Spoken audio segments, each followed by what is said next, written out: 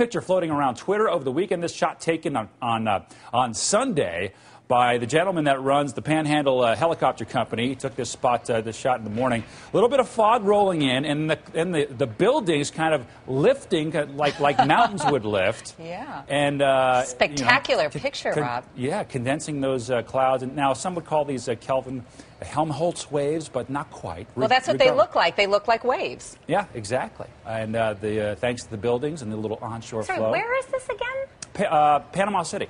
Panama City. Oh, those are some of the most beautiful beaches. You can't even see Yeah. them. I know the crystal white sands and the azul water. You know, I know it. I listen- Look at this spectacular photograph visualizing how clouds form, in this case affected by high rises at Panama City, Florida on Sunday.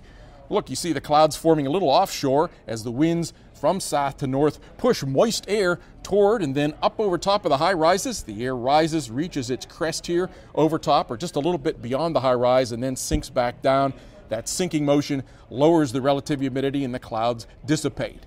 The relative humidity must have been very high just offshore, almost ready for fog to form anyway because the clouds form so low down and then they really get thick going up and almost obscuring the high rises.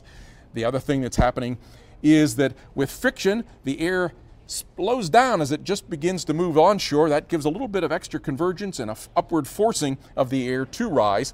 But it must be that relative humidity needing to be just right that allows the clouds to form so low down and explains why we don't see this kind of a picture every day.